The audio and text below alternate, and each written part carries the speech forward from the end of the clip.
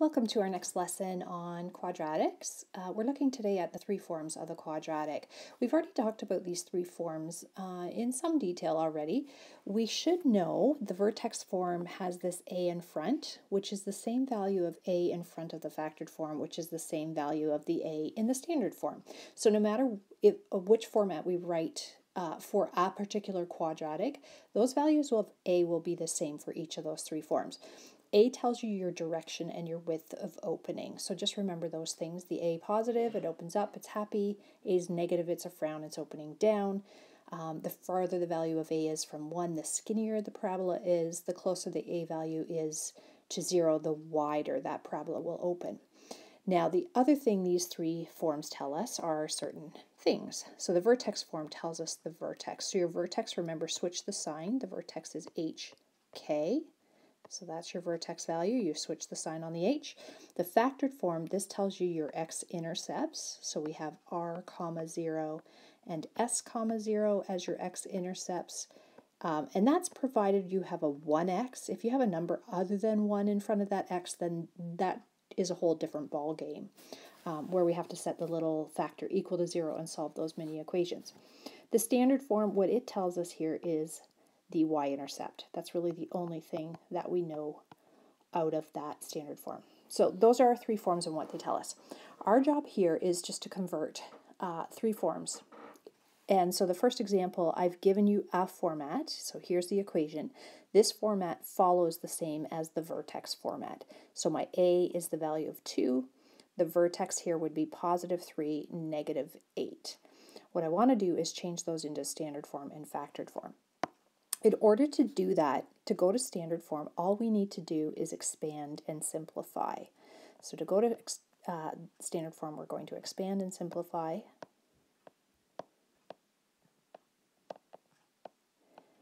And when we get that standard form, we can then take that and put it in its factored form by factoring. And that's when we want to follow that factoring decision tree that we had made earlier in the semester before um, we went on our, our little hiatus here at home.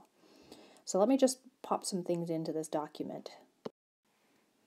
Okay, so I just put the words vertex, x-intercept, and the fact that A is is the same for all three, and it represents your direction and width of opening.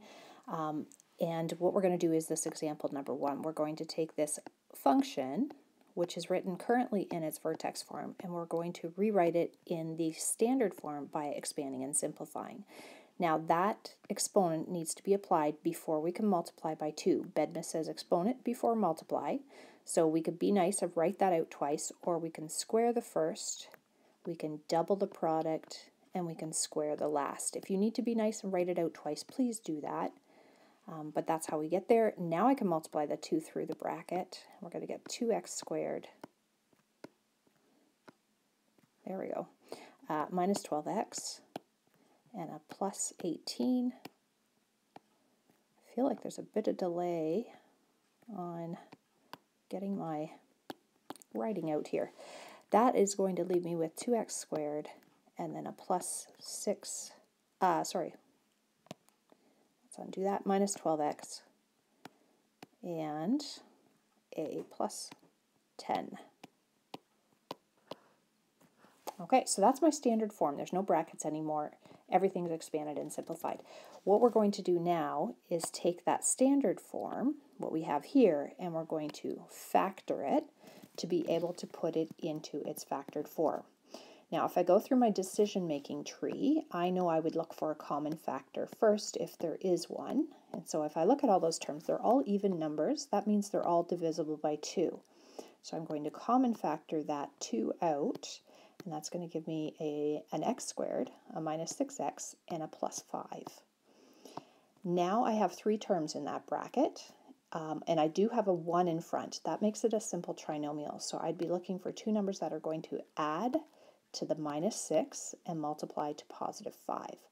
Negative 5 and negative 1 will do that, and because it's a simple trinomial, I can go directly to that factored form of x minus 5 and an x minus 1. And I just realized I have a square there where I shouldn't have a square. Let me take that out. There we are. So x minus 5 and x minus 1. Now, again, if I wanted to know my x-intercepts, it would be at positive 5 and at positive 1, and that comes from here and here. My y-intercept comes from here, it's 10, and we already talked about the vertex being positive 3 and negative 8. All right, next example here, express g at x in standard form and vertex form. Again, anytime I want to find standard form, I'm just going to expand and simplify. To get my vertex form, we're going to need to do a little bit more work. So why don't you put the video on pause, see if you can expand and simplify this, and then you can check your answer against the video. All right, in my expanded and simplified form, I have g at x being equal to 3x squared minus 30x plus 48. So that's my standard form.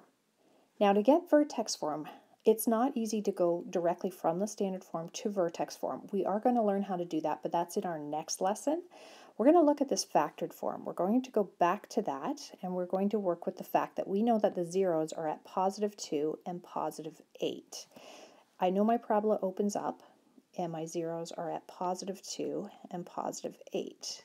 Positive 2, positive 8, diagram not to scale, and parabola is opening up. Now, we know that the vertex, remember, vertex is halfway between those zeros. The x-coordinate of the vertex is halfway between those zeros because of the symmetry happening. So to get the x-coordinate of the vertex, we're going to take those x-intercepts, which we know are 2 and 8. We're going to add those together and divide by 2, finding the midpoint, finding the average between those two things. So that's going to be 10 divided by 2. BEDMAS says add uh, the numerator first, and then because it puts a bracket around that, and it gives us a 5. Now that we have that value, we're going to take that value, that's the the y coordinate of or sorry, the x coordinate of the vertex, and we're going to use that to solve for the y coordinate. So we're going to evaluate that function at 5. We're going to sub 5 in where we have the x.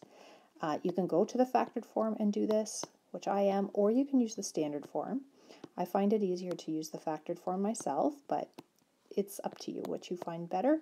Uh, BEDMAS says inside the brackets, 5 take away 2 is a 3, and then 5 take away 8 is negative 3, 3 times 3 is 9. 9 times negative 3 would be negative 27.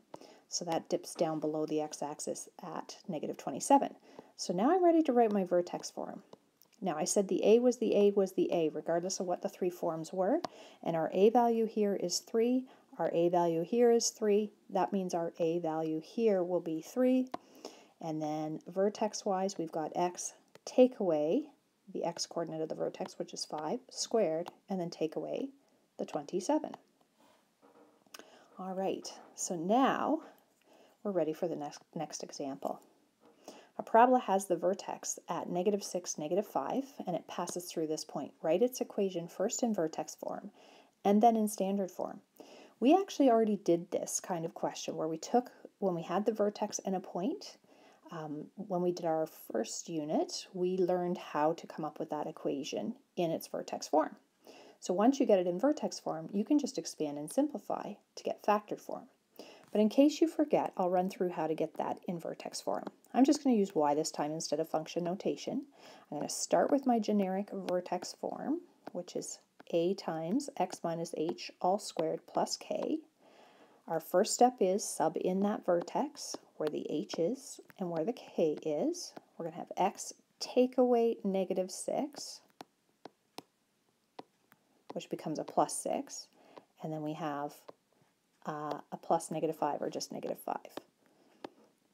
I'm just going to fix that up. I'm just going to write that as x plus 6. So x take away 6 becomes x plus 6. Switching that sign there. Okay, now we're going to take this point of 3, negative 3 and 4, and we're going to put negative 3 in where x is, and we're going to put 4 in where the y is, because our ordered pair is always in that order of x comma y. So 4 is equal to a, we're going to put negative 3 where the x is, and then we have our plus 6, all squared, minus 5. And then we have 4. I'm going to do what's inside the brackets first. Negative 3 plus 6 will be positive 3 and then I'm going to square that positive 3 and get 9. So I'll have a times 9 or 9 times a. And now I'm ready to solve for a. I'm going to undo the minus 5 by adding 5 to both sides. I'm going to get 9 equals 9a. And then we're going to divide both sides by 9 to get the a by itself because a is being multiplied by 9. And I get that a is equal to 1. So in vertex form, my equation would be y equals, I don't have to write the 1 in there. I mean, we can if you want, but we wouldn't normally see that written in there. The convention is just to leave it off.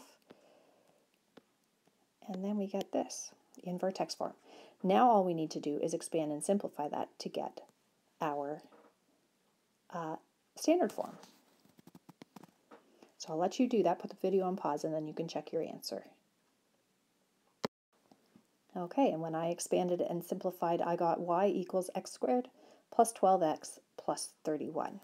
So that should be your parabola in its standard form.